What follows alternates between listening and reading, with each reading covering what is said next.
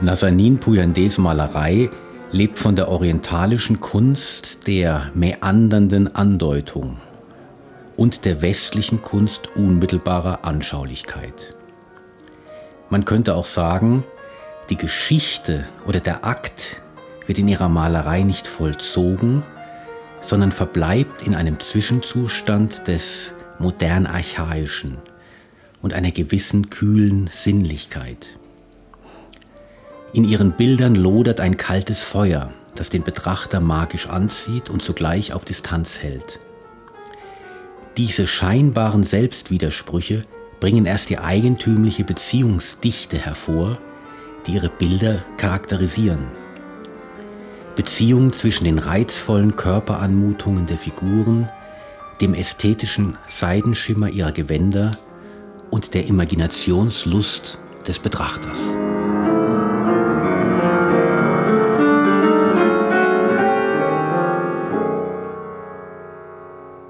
J'ai une obsession et cette obsession euh, qui existe toujours dans mon travail presque depuis le début, mm. c'est euh, l'altérité, c'est l'autre et c'est mm-hmm. l'inconnu. Mm-hmm. Et comment m'approprier cet inconnu par le biais de la peinture?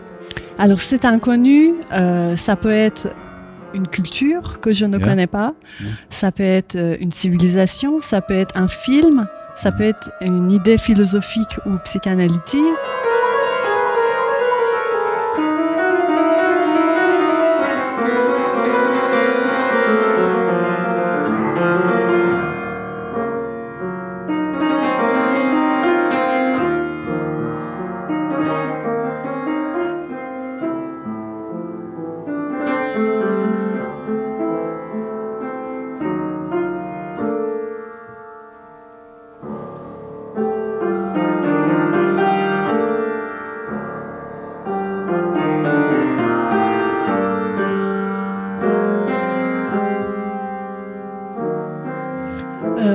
Fait, je crois euh, à cette théorie de Carl Gustav Jung qui mm. dit que l'inconscient collectif, ou dans un autre sens, la religion, les mythes, les contes, mm. ceux qui euh, construisent en fait notre inconscient collectif, ont autant d'influence sur le cerveau qu'en fait les gènes. Mm-hmm.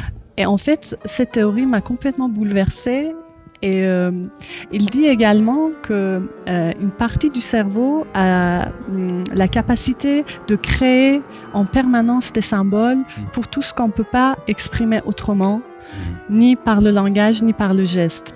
Du coup, moi, je fais confiance à cette fonction du cerveau qui invente en permanence des symboles qui sont soit inventés, soit qui existent déjà dans notre inconscient.